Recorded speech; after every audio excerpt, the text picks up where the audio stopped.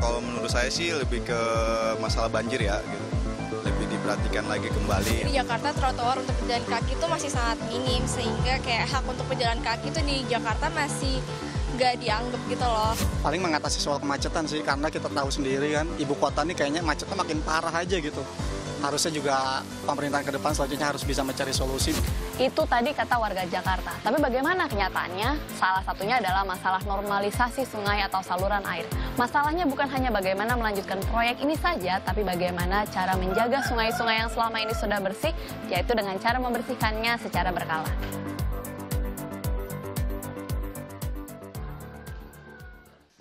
Hingga kini proyek normalisasi sungai di Jakarta memang belum tuntas karena ada 13 sungai dan kali yang melintasi provinsi ini. Salah satu kendalanya adalah pembebasan lahan. Seperti yang terjadi di Kali Anak Krukut Bawah, Tanah Abang, Jakarta Pusat ini, masih banyak permukiman warga yang berbatasan langsung dengan kali. Limbah rumah tangga yang dihasilkan pun tak jarang memenuhi aliran sungai.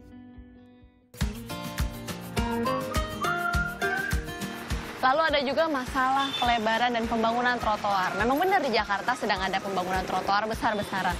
Tapi karena pembangunan ini, trotoar yang sudah ada jadi tidak ada. Bahkan pejalan kaki harus melintas melewati jalan raya dan keselamatan pun jadi ancamannya.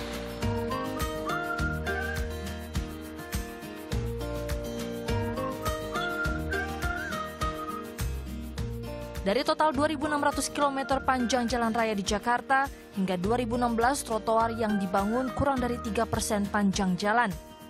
Untuk itu 2017 ini Pemprov DKI galakan pembangunan dan pelebaran trotoar yang dimulai dari kawasan Tamrin, Jakarta Pusat.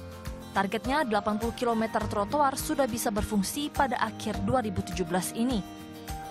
Pekerjaan rumah ini hanyalah sedikit di antara setumpuk tugas lain yang sudah menunggu gubernur dan wakil gubernur baru. Mengajak warga Jakarta mematuhi peraturan yang ada juga merupakan hal menantang. Untuk itu, ketegasan seorang pemimpin sangat dibutuhkan demi perubahan ke arah yang lebih baik. Tim Liputan melaporkan untuk NET.